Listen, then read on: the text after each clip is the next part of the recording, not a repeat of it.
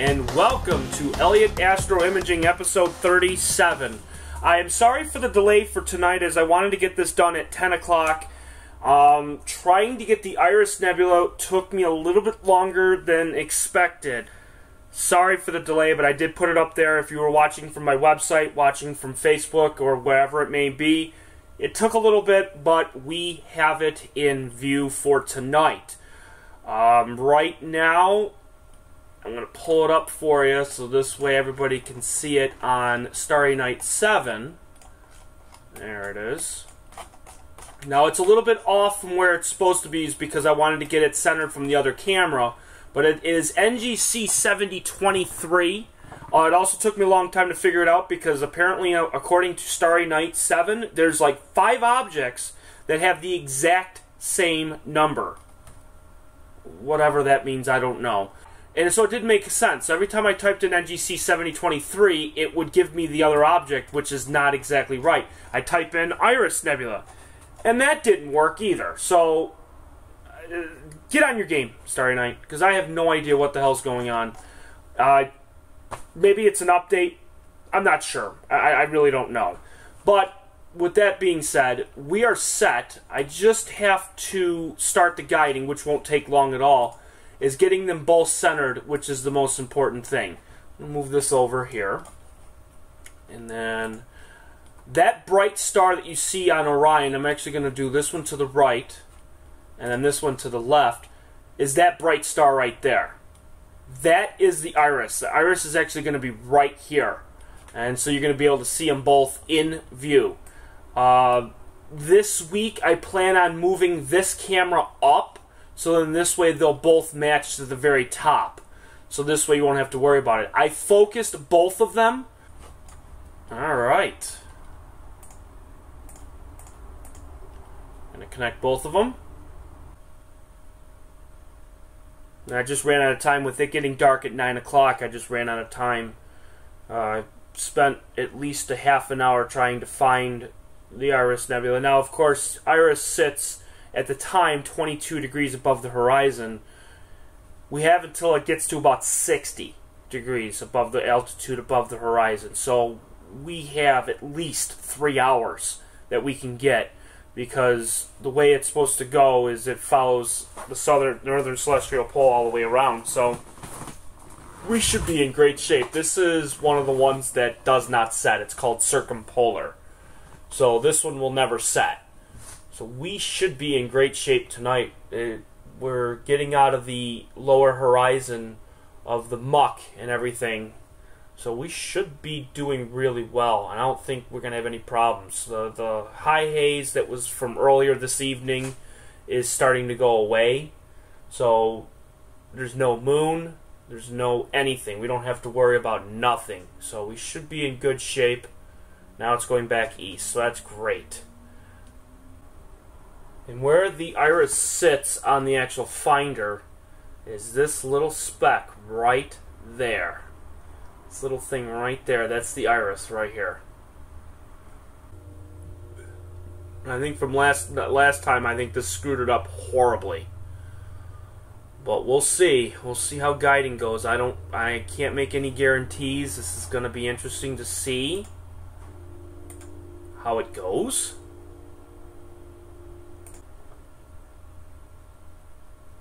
Okay, we'll try it. I can't make any guarantees tonight, but we're going to try. 70, 23. And go. And then we'll, we'll sequence this one.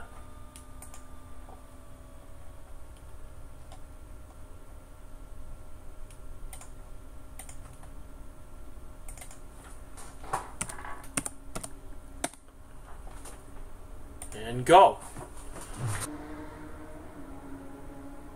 Alright, now we're getting better. Okay, 0.51. Alright.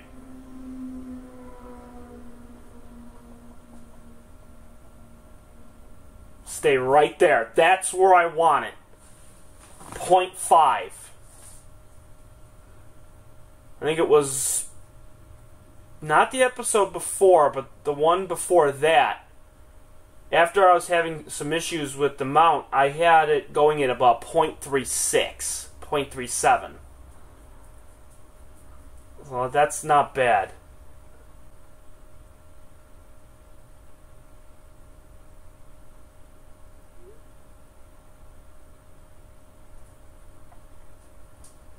Point four three.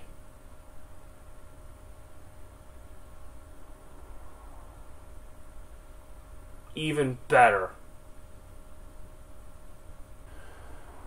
Because we're doing 15 minute exposures on the QHY and 16 minute exposures on the Orion. So pretty much the same exposure time as what I did last one with the Sombrero. Only thing is, we don't have to worry about the Meridian flip this time. Alright, here we go. We're at 97% on this one, so we're going to make this one bigger.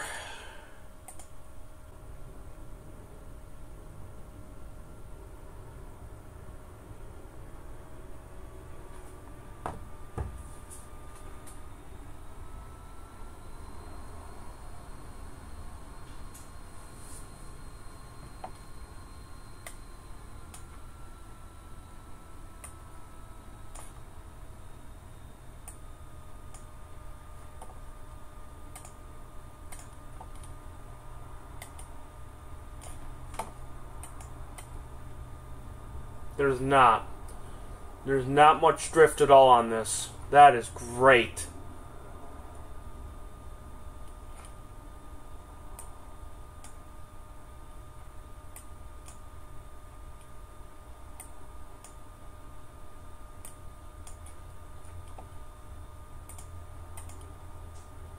I really do need to get that other camera in the middle.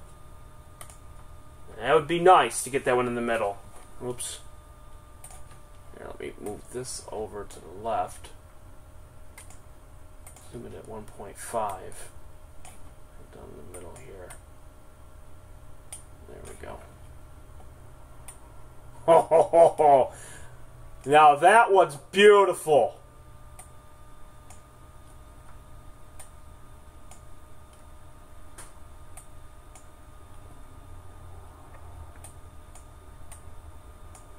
Couple of dust motes, but still, that that one's nice.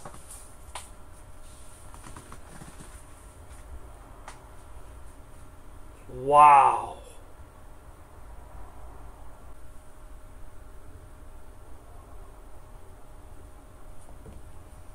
All right, we're about just about 70%.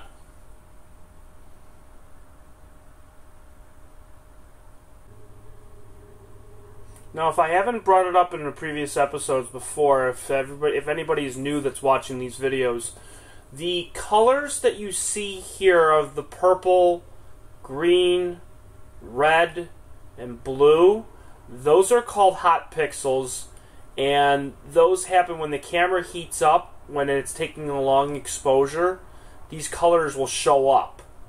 And when I take darks biases, and flats, which are called calibration frames, these will go away.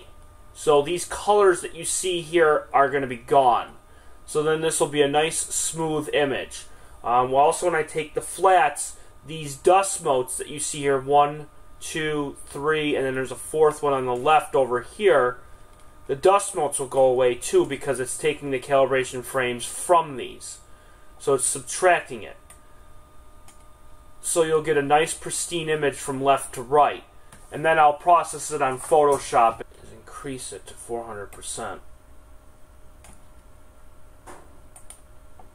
Actually see the stars between it. Zoom this one to 2.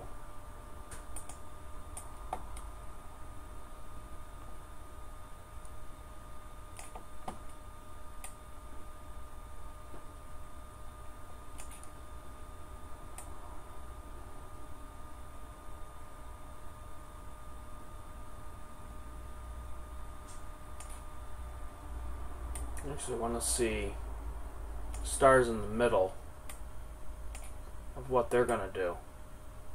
That's perfect right there. I want to see what the stars do if if they move after the image is taken. And you can see it in this camera too. You can see the red, the green, and the blue pixels on this one too. You can see them all scattered throughout this entire image. Alright, here we go.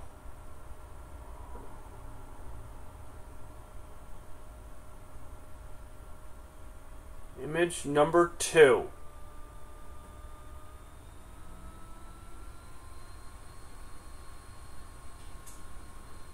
It moved, but there wasn't that much drift.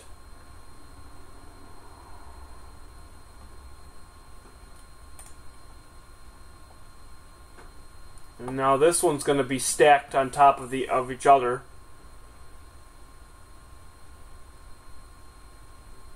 Not bad. Ah, oh, darn it! I didn't see the uh, it move. I wasn't paying attention.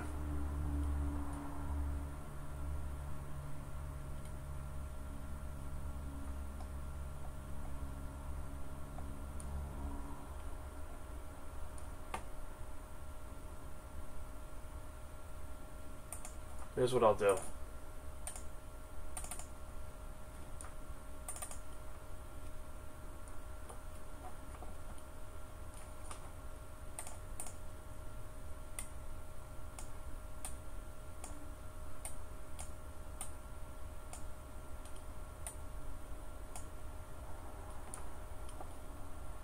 That is really cool. Just go to preview files load images, desktop, Iris Orion. We'll preview both of these. So then we'll be able to see the stars move. That's the first one, and that's the second one. If anything, the stars actually look better. Yeah, I like that one. Now, this looks like it's a haze of some sort. This is the actual gas that's in front of the stars. So, like, you see a whole bunch of stars here on the corner here. You don't see much in this area here because there's so much gas. That is really cool. And the stars really don't move. So that that's really cool. Let me see how much they moved on this one.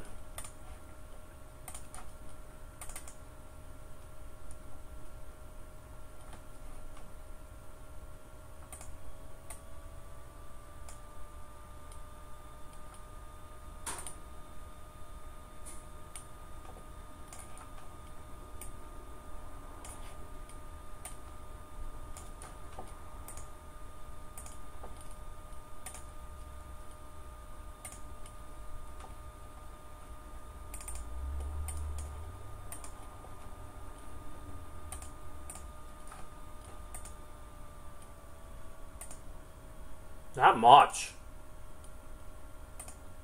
And you still look pretty good.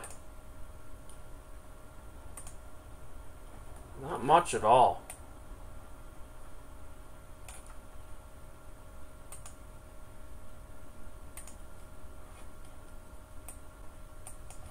I'll probably take one more and then we'll call it quits for tonight for the the actual broadcast. So in this way we'll be able to see three of them. So when this Orion, this third Orion image is over, then I will stack them and get everything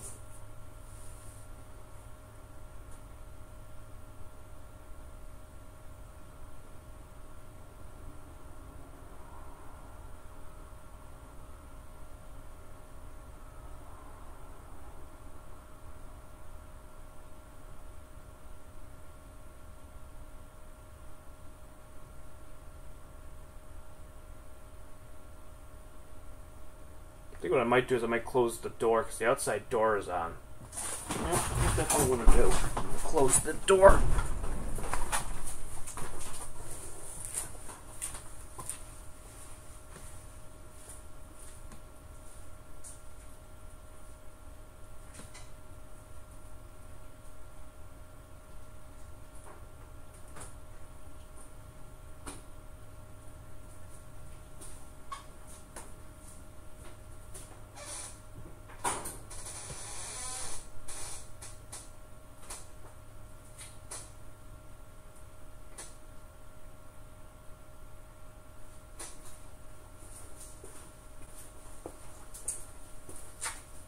Yeah, looking at that from a distance, that actually looks kind of neat.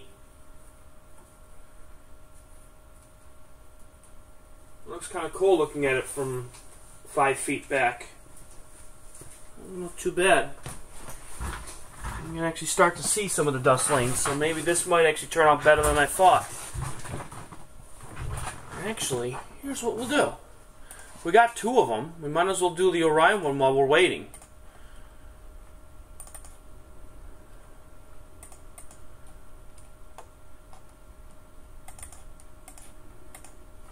At least this one will, be in color.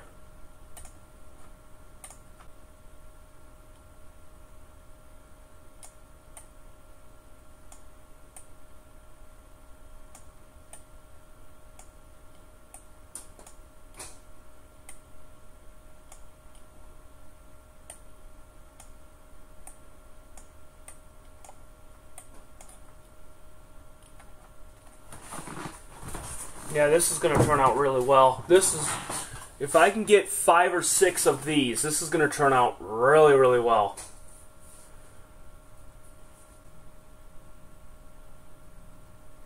And of course, the other thing too is the guiding might have been bad in the beginning only because of how high it was in the sky. So if it was like really low in the sky, so right now, it's at a pretty decent. I mean, it's. I mean, one of them is at um, 29 degrees. So we're looking at about roughly 30 degrees above the horizon right now at 11:47 p.m.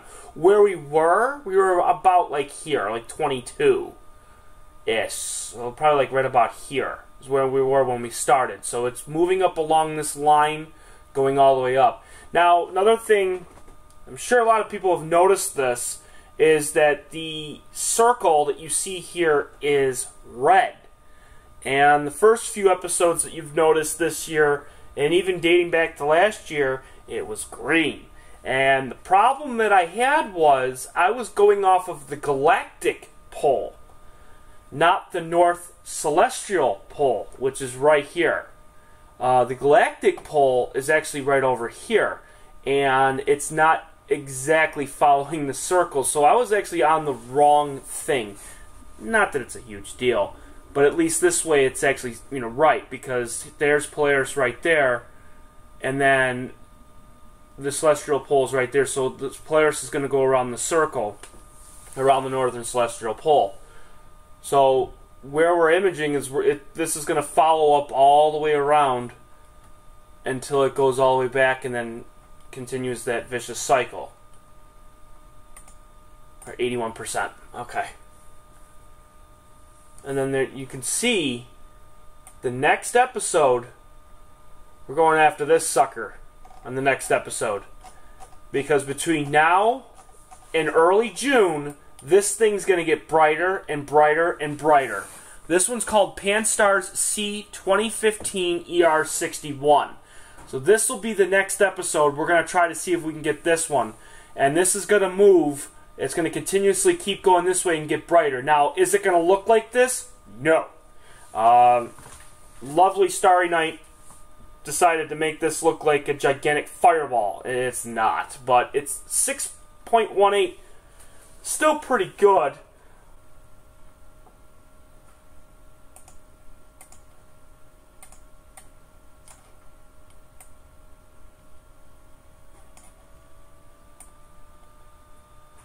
I also want to see how these stars move.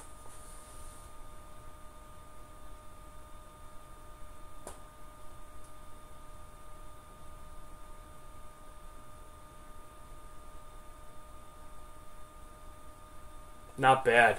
That that one actually is, is darker and it looks nicer. So that's not bad. How does the nebula look? Well, that's getting better. Now you're going to be able to start seeing some of the actual detail inside of it. That's getting much, much better. Okay, cool.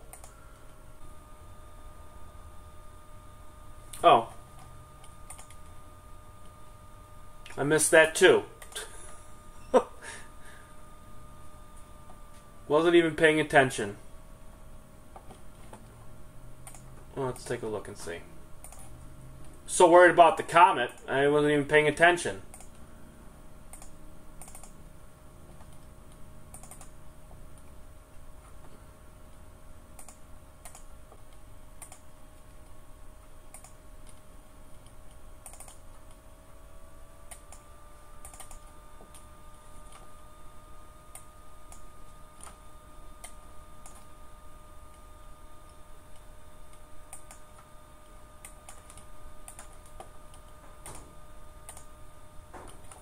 Yeah, it's starting to get a little bit darker.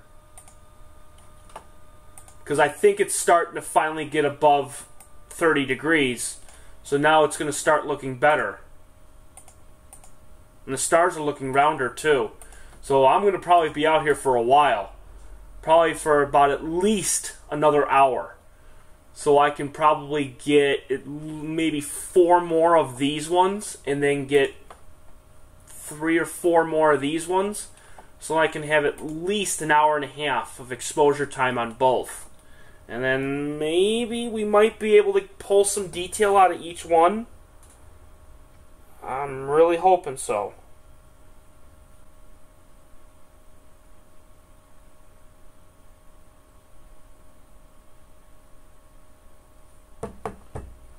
Alright, let's see what this one turns out to be.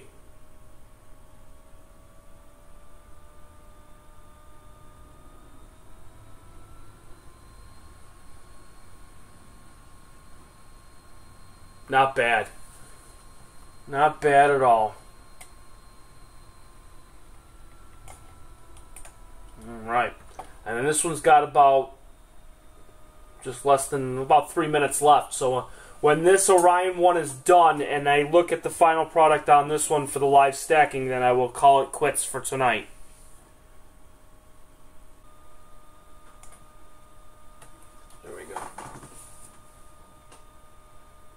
I think this is probably the best focus I've had with this camera in a long, long, long time.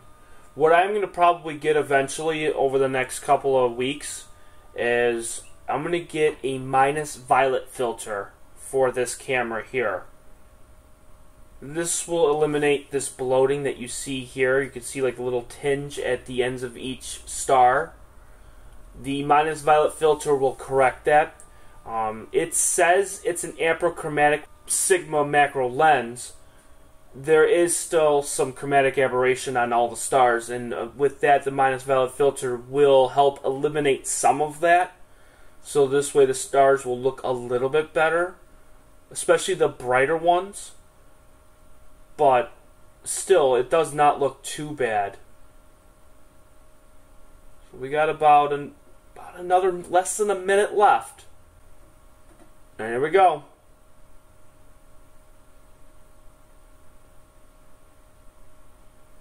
Much better. And it's getting darker too. That's great.